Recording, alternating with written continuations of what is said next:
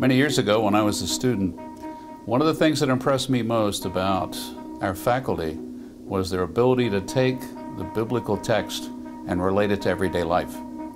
But I soon learned I knew very little about the context of the Bible. And one of the things that controls meaning is the context of the audience that originally received the message.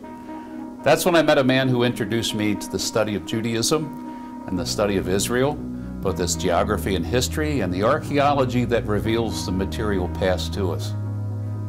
It got me so excited that I've spent my whole life investigating that. It's an awesome thing to stand and understand more completely what was meant by what was said to the audience originally addressed, and then by the Spirit, as the Lord moves in our hearts and our lives, to see that applied to everyday life where we live. So this particular program, Israel and Archaeology, is designed to take a small group of people in a concentrated year of study and introduce you to the history of the Jewish people and how they moved from exile in Babylon in the late 6th century BC up to the present day Israel in the modern state of Israel in the Middle East.